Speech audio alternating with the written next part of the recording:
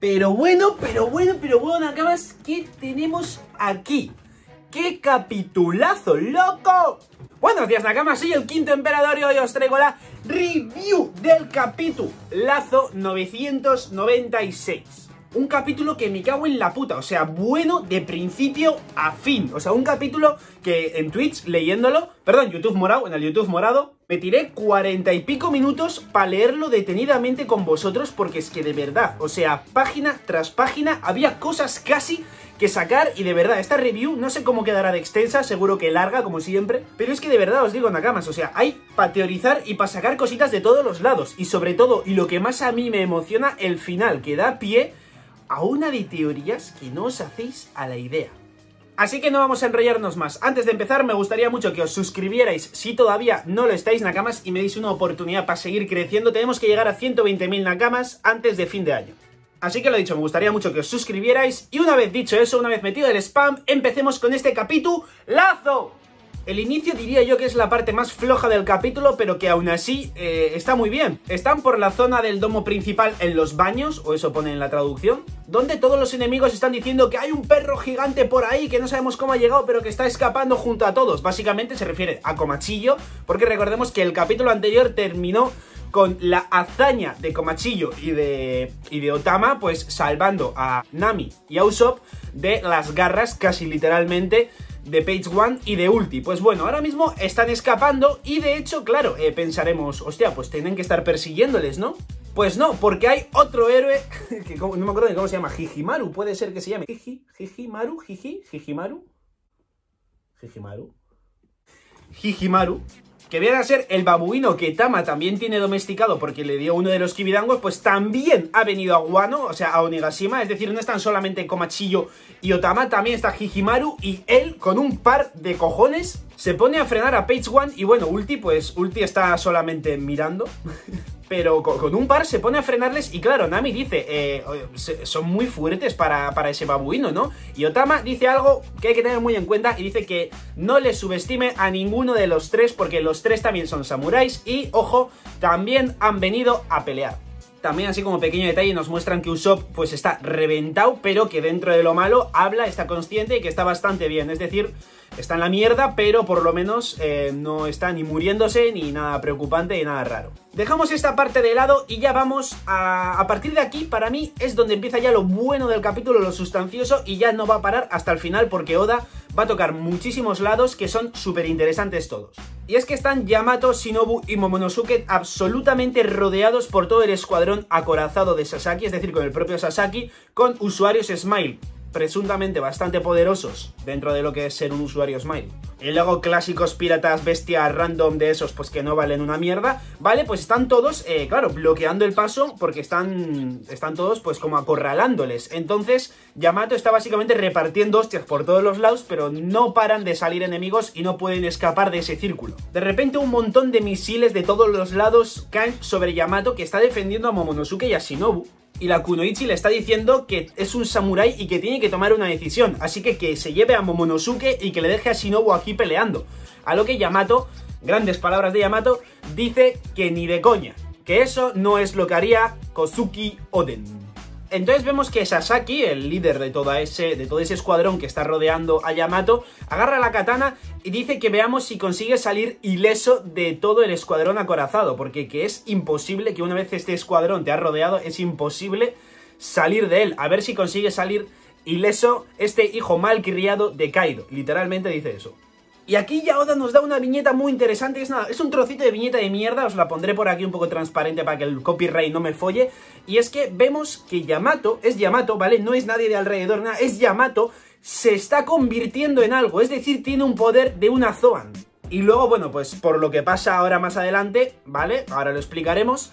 Yamato corta esa transformación, pero vemos que se empieza a transformar en algo con colmillos. Y es que yo lo tengo muy claro Nakamas en los directos del YouTube morado, os lo digo muchísimo, creo que en vídeos aquí también os lo he dicho alguna vez. Yamato para mí tiene la zona mitológica del Biako. En resumen, el Biako es un tigre blanco de la mitología japonesa, es uno de los cuatro animales mitológicos, de, pues que cada uno se encarga de un punto cardinal y no sé quién se qué apoyas. ¿Por qué digo que es esto y por qué llevo mucho tiempo diciendo que es esto? Porque su padre, Kaido, es uno de ellos, es el Seiryu, es decir, el dragón azul. El otro sería el ave fénix, pues que está, está Marco, está ya aquí en Guano. Faltarían dos, la tortuga, que ni puta idea, el Genbu creo que se llama, pues esa tortuga de momento la mandamos a tomar por culo, hasta nuevo aviso. Y, que, y ahora estaría el Diaco, que es quien va a ser eh, Yamato, que además, como me comentó una cama, si nos fijamos, los colores del Diaco son pues como blanco, azul y tal, casualmente los colores de pelo de Yamato. Hmm. Y además, bueno, también que en la transformación de Yamato le estaban empezando a salir colmillos. Y al ser hija de Kaido, que es una de esas bestias mitológicas, no me sorprendería ni de coña que, como llevo ya mucho tiempo diciendo, efectivamente sea el Biako. Pero bueno, eso tendremos que esperar porque de repente aparece Franozuke que está básicamente escapando de Hacha, de un number, pues que bueno, pues que en su momento eh, empezó a perseguirle y a día de hoy sigue persiguiéndole y justo se encuentra pues con todos estos. Y de hecho Yamato le reconoce, le dice, hostia, este es Frankie el Cyborg, eh, recompensa 94 millones de la tripulación de los Mugiwara. Yo no sé hasta qué punto Yamato se tiene estudiado a los Mugiwaras, pero parece Bartolomeo. Frankie se da cuenta de que por ahí anda Momonosuke, pero antes de intentar ir a donde ellos, pues tiene que esquivar cierto ataque de Hacha, que es que básicamente el tío enorme, ¿vale? Que tampoco es que tenga muchas luces, lo va a demostrar en este capítulo, coge con su supermazo y ¡pum! Le casca eh, al suelo, justo en todo el círculo de que estaba rodeado Yamato, y compañía, eh, le casca una hostia, pues que consigue hacer un agujero y crean como un pozo. Entonces, ya para empezar, los tres, los tres que estaban ahí dentro, es decir, Shinobu, Momonosuke y Yamato, empiezan a caer por ese pozo y Hacha pues les ha hecho un favor porque han conseguido escapar de ese círculo.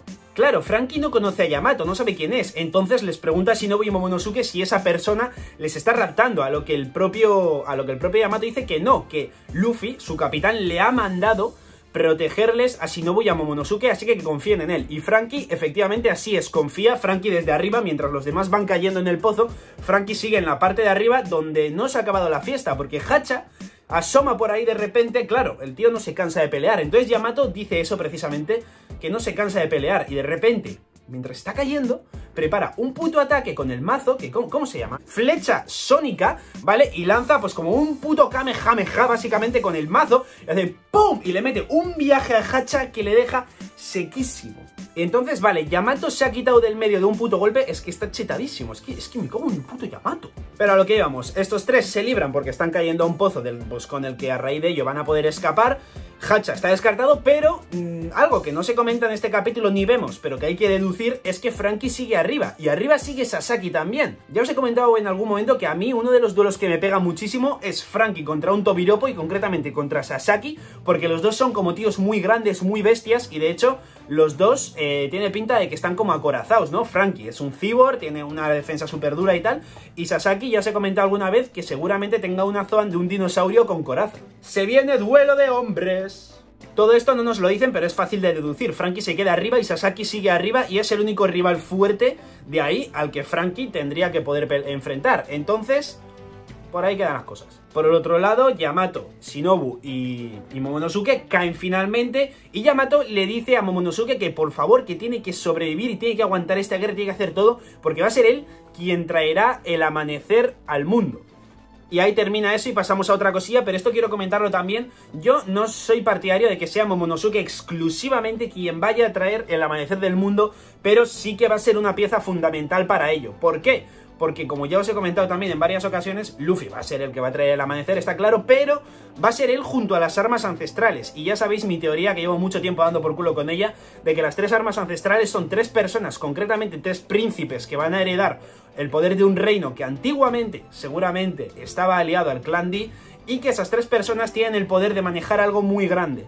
Shirahoshi es Poseidón y puede manejar a los reyes marinos y seguramente vaya a ser la reina de la isla Yojin, quien también posiblemente fue aliado en el siglo vacío de Joy Boy, por eso de la promesa no cumplida, el barco Noah y tal y cual.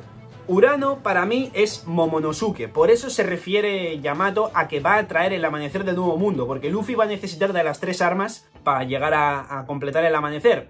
Y Urano, Momonosuke, que va a heredar el reino del, clan Kozuki, es decir, el reino de Guano, que seguramente también fue aliado de los Di, puede manejar a Zunisha. Y por último está Bibi, pues que seguramente sea la reina de Arabasta tarde o temprano, si es que no le está siendo ya porque Cobra posiblemente haya muerto, y va a tener el poder de comunicarse, ella va a ser la única con el poder de comunicarse con el Club Bounterman del barco Plutón. Son tres personas con un poder de manejar algo muy grande. Ese barco Plutón posiblemente sea Noah. Pero bueno, quería hacer este pequeño paréntesis para entender por qué creo que Momonosuke sí que va a traer el amanecer al nuevo mundo, pero no directamente él, sino Luffy con la ayuda de estos tres príncipes. Y ahora vamos al sótano del segundo piso, Nakamas, donde también empiezan a tocar temas muy interesantes. Vemos a Trafalgar Law, un tío que estaba desaparecido durante muchísimos capítulos, que derrota a un usuario Smile perro, ¿no? Es un perro, un lobo, yo diría que es un perro, sin más. Eh, lo derrota fácilmente y de repente vemos que se encuentra frente a algo especialmente importante.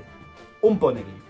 Vemos ahí una pequeña imagen como recuerdos de Trafalgar Law de corazón recordándole lo que dijo en su momento, que los Di son considerados los enemigos naturales de los dioses. Todo esto lo recuerda mientras tiene enfrente el Poneglyph y después de eso recuerda una conversación que tuvo con Nico Robin, posiblemente entre Rosa, comentando, bueno, viendo a, a, Robin, pues bastante sorprendida de que Lo también tenga el apellido Di en su nombre y que a pesar de que a Luffy no le interese conocer ese apellido, a ella sí que le interesa vemos a Trafalgar bastante interesado en descubrir de una vez por todas qué cojones significa esa letra D. A la conclusión a la que llegan es que básicamente tienen que conseguir los poneglyphs para descubrir todo ese significado, aunque en la traducción, en la oficial todavía no lo sé, pero en esta traducción, en, la, en una filtrada, dice que para conseguir ese, ese significado de la D tienen que encontrar los Road Poneglyph, cosa que como tal debería ser erróneo, porque los Road Poneglyph son los que llevan a Laugh son los poneglyphs convencionales los que deberían explicar el siglo vacío y por ende el significado de la D. Aún así, no importa. Eh, Trafalgar está frente a un poneglyph normal, no es un road poneglyph. Y él mismo ahí dice, pues, pues no, pues no es un poneglyph rojo de estos. Y parece como que va a pasar un poco de él. Pero bueno, realmente también sería interesante eh, tener en cuenta que hay, hay un poneglyph. Y pasamos de este supernova para ir a otro de los tres más interesantes de aquí. Está Luffy, está Lo, ¿y quién es el otro? Pues este es Keith es Captain Keith, que primero no nos enseñan una imagen concreta de él, sino de cosas voladoras, ¿vale? Metales voladores, pues que están siendo atraídos, pues obviamente por Keith. Y quiero, Nakamas, que tengáis una cosa en cuenta, ¿vale? Un pequeño detalle que puede ser que sea sin más una tontería, o puede ser que Oda, como es un hijo de puta, lo haya hecho adrede, ¿vale? Y la primera imagen que tenemos de esto es de, de un montón de metales siendo absorbidos, entre ellos esta barra. Recordemos, ya sabemos de quién, quién, pelea con ese tipo de barras, ¿no? Vale, bueno, tuberías. Vale, puede ser una casualidad muy tonta. Por un lado, podemos tener esa opción. Por otra, eh, Sabo, ¿vale? Tener en, tener en cuenta la palabra Sabo. Y ahora ya sí que nos muestran a Keith, pues montándose ahí un puto armagedón entero de, de, armas y de cosas de metal, destruyendo absolutamente a todos los que hay por al lado. Y le pregunta de hecho a Killer, oye, ¿así suficiente o puede ser que me haya excedido un poco? Y Killer le dice, no, no, toda precaución es necesaria, estamos enfrentándonos al pirata más poderoso de todos. A lo que Keith le dice que efectivamente, con una sonrisa de, hijo de puta, esa sonrisa malvada de Keith que transmite malicia pura, dice que efectivamente, que tiene razón. Esto de Eustace Kid lo dejan de lado, por cierto, los dos están en el segundo piso. Trafalgar en el segundo piso, en el sótano, y, y, Kid está también en el segundo piso, como un poco más apartado. Y más adelante veremos que Luffy también está todavía en el segundo piso, pero ya a punto de subir al tercero. Es decir, los tres comparten el mismo piso. Detalle interesante. Nos dejan esto de lado y vamos a la azotea donde Oda es un hijo de puta porque no nos muestra nada especial. Solamente dos imágenes sin diálogo, sin absolutamente nada, donde vemos a Kaido súper oscurecido, o sea, como todo súper tétrico, con cara de mala hostia, y de repente vemos que Kinemon está recibiendo una hostia de Kaido, pero una hostia seria. Después de, después de mandar volando a Kinemon, vemos que Denjiro consigue clavarle la espada a Kaido, pero la siguiente viñeta solamente se ve como, como si estuviera salpicando sangre, no se ve de quién es ni nada, pero está claro que es de Denjiro. Y después de eso vemos una viñeta de Kaido de espaldas, con todos los vainas rojas tirados en el suelo en la absoluta mierda. O sea, em, las cosas arriba no están como prometía que, parecía que iban a estar cuando que si el Sulo, que si el Kosuki o de Nitoriu no sé qué. No, no, no, están todos en la mierda absoluta contra Kaido. Y ahora nos lo deja ahí, bajamos al piso de abajo del todo, donde están todos los Sonys de hielo y demás, todo el problema un poco más principal actualmente, y vemos que Big Mom se acerca, entonces todos, hay una, hay una viñeta que nos ponen a todos, y todos muy preocupados porque ven que Big Mom se está acercando, pero pasa de largo de todos y dice que no se preocupen, que no tiene ningún problema ahora mismo con ellos, sino que va arriba a cumplir unos asuntos con Kaido. Y la cosa se queda ahí, pero yo esta viñeta la interpreto de una manera bastante lógica, creo yo, y es que Oda está preparando la viñeta del capítulo número 1000 de Wano. Va a ser la viñeta de Wano. Y es que van a estar Kaido y Big Mom enfrente, ¿vale? O sea, como nosotros viéndoles en la viñeta a Kaido y a Big Mom, dos tíos enormes, dos putos titanes, y a la vez van a conseguir llegar los tres supernovas que están en el segundo piso actualmente, Kid, Lo y Luffy. Y vamos a tener una viñeta en el capítulo 1000, mi opinión, de esos dos, y de espaldas, o sea, dándonos la espalda de Luffy, Kid y Lo, 2 eh, versus 3 ahí monumental, o sea, va a ser una puta viñeta legendaria. Y a saber si a esa viñeta se animan también Marco el Fénix, que se supone que está persiguiendo a Big Mom, los vainas rojas que andan por ahí, igual consiguen sacar fuerzas de flaqueza y levantarse. Una viñeta de los dos Yonko contra absolutamente todo el mundo que está ahí en Onigashima. O sea, una viñeta en el capítulo 1000 puede ser pero bueno, eso todavía son teorías. Vamos con la parte final del capítulo que me cago en la puta. Yo creo que es aquí donde más sustancia se puede sacar. Y es que he ido comentando todas las cosas y todas las teorías durante el capítulo para ahora, cuando acabemos el capítulo, centrarnos en esto último, porque me cago en la puta. Y es que están Jimbe, Sanji y Luffy subiendo a punto de llegar al tercer piso. Y de hecho es... ¿Quién es? Jimbe creo que es. Sí, la azotea se encuentra en el quinto piso dice Jimbe. Entonces, pues bueno, tienen que seguir subiendo, pero cuando estaba a punto de subir al tercero, ¿vale? De repente Sanji dice, oye, ¿no escucháis eso? No sabemos si esto puede ser hacky de observación o no. Puede ser que sí, pero aún así da igual. Lo importante es que Sanji escucha algo, y como el grito de una mujer, en plan como ña, no sé qué. Y mucha gente pues está pensando que si puede ser Black Maria, que si puede ser, pues yo qué sé, eh, Queen que está haciendo cualquier mierda rara. No, Nakamas, yo creo que no, por un motivo muy sencillo, y es que por un lado dice literalmente Don Chan, Don Chan, no hay problema, Nufufu, y luego Sanji dice, no puede, no puede ser, es, es, y se queda así como, como, no puede ser, es este, es esta persona.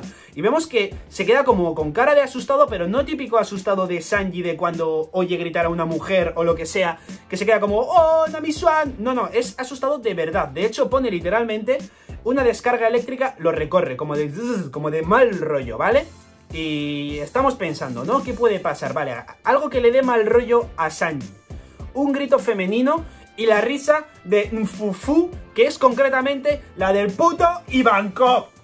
Nakamas, no veo por dónde no encajarlo para concluir que Ivankov, y suponemos que más gente, pero eso lo desarrollaremos ahora, que el puto Ivankov está en Onigashima. Y ese Kia no es que le estén quitando el kimono a Black Maria no sé qué, no, no, no, no, es que, es que el puto Ivankov, como ya ha hecho en más de una ocasión y lo hemos visto, ha sacado sus zarpas a pasear, ha enchufado a un rival o a quien sea hormonas y lo está convirtiendo en mujer y está pegando gritos de mujer de One Piece, que es lo que hemos visto que ha pasado muchas veces cuando, cuando este hombre, cuando Ivankov chuta hormonas a un tío de Impel Down y de repente se empieza a convertir en tío, en tía, perdón, y dice, ¡ya! No sé qué, pues es eso. Luego el Fufu es inconfundible, es la risa oficial de Ivankov. ¿Y por qué un Kia sin más si esa risa le iba a dar mal rollo a Sanji? Coño, pues porque Sanji ha estado entrenando con los Okamas dos putos años. Ha sido el infierno de Sanji. No puede estar tranquilo. ¿Y por qué estará Ivankov en Onigashima? Nos preguntamos. Por cierto, el capítulo acaba aquí. A partir de ahora vamos a analizar esto último, ¿vale? Porque es que me cago en la puta. ¿Por qué Ivankov iba a estar en Onigashima? Pues bueno, la solución yo creo que se puede enlazar a lo que os llevo mucho tiempo comentando. Y es que para mí, Sabo llegó a Guano porque Kuma en el Reverie le mandó a volar y le mandó a volar precisamente a Guano. Entonces, claro, Sabo necesita que vengan refuerzos a ayudarle para salir de ahí. Van los revolucionarios, Ivankov va con él, pues a ayudarle y, por eso mismo está aquí. Es más, los barcos de los revolucionarios, el mascarón de proa que tienen, ¿vale? Se llama así, ¿no? Mascarón de proa, mascarón de popa, bueno, no lo sé, eh, la, la, cosa de delantera, ¿vale? Donde suele estar la cosa más reconocible de la tripulación, tienen dragones. Entonces seguramente Tama haya ido en ese mismo barco, junto a Komachillo y a Hijimaru, hacia Onigashima. Y claro, como tiene mascarón así de dragón, pues Tama habrá pensado que son de los enemigos. Kaido es un dragón, eh, no sé qué, enemigos, vale. Pero no, no, ha ido en el puto barco de los revolucionarios.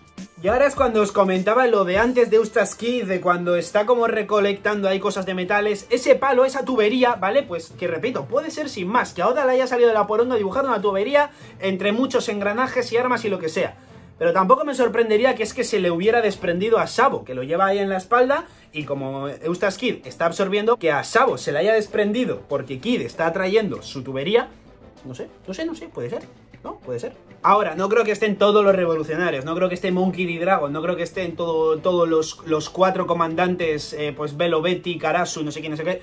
No creo que estén todos, pues porque tampoco es algo de la incumbencia como tal de los revolucionarios. Sin embargo, si Sabo efectivamente ha caído en guano y no tiene absolutamente ninguna manera de volver, pues es normal que vía Dendemushi, vía lo que sea, pegue un toque a sus colegas los revolucionarios para que vayan a salvarle. ¿Y quién ha venido a salvarle? Pues el querido Ivankov. Seguramente no haya venido solo, sí que habrá venido con alguien más. Puede ser que uno de los cuatro comandantes haya venido, pues Lindbergh, Karasu o Velovetti o quien sea. Puede ser que haya venido Koala, Hack, es decir, eh, hay muchos revolucionarios. Obviamente Ivankov solo no va a venir. Sin embargo, eh, a mí me huele mucho a que Sabo e Ivankov efectivamente están aquí en, en Wano. Y como ya he comentado, Tama ha venido en el barco de, de Sabo y compañía. Luego también, pues por comentar, hay un coloreado aquí donde vemos pues a todos los presos que escaparon de Impel Down en su momento, con aires de guano y demás, que a ver, no quiere decir nada especial tampoco. Y bueno, pues que estén todos con aires de guano me parece bastante curioso. No creo que vaya a estar Bon Clay, no creo que vayan a estar todos los demás, pero bueno, mm, siempre es curioso ver cómo Oda viste de guano a gente pues que hay teorías de que efectivamente vayan a venir aquí. No lo sé. Obviamente es todo bastante confuso todavía, no hay ninguna confirmación absoluta, pero entre la risa de Ivankov, el palito, este arma de Sabo que es atraído, eh, ese, grito de, ese grito de mujer que suele poner Oda de Kia cuando Ivankov le, le chuta hormonas, que para mí es eso, es algún enemigo que, pues, que le ha convertido en, en, mujer. Y sobre todo el mal rollo que tiene Sanji a raíz de haber escuchado eso. No sé, a mí me huele muy fuertemente a que efectivamente los revolucionarios están pisando Onigashima. Y bueno, Nakamas, pues poquito más que comentar.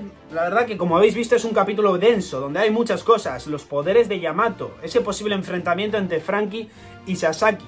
Trafalgar Law tocando otra vez el tema de los D, que cuando se toca el tema de los D todo el mundo nos quedamos como ¡Ey!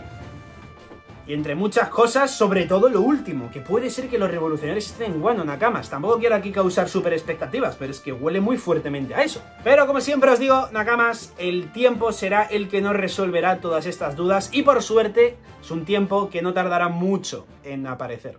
Así que nada más, Nakamas, aquí me despido, muchísimas gracias a todos, espero que os haya gustado la review, las cositas que os he comentado y sobre todo el capítulo. Suscribíos, si todavía no lo estáis, os lo recuerdo, que no, no, no os escapéis, Nakamas, no os escapéis. Venid a mí, suscribíos, bonitos. Y nada más. Un saludo, Nakamas, y hasta mi próximo vídeo.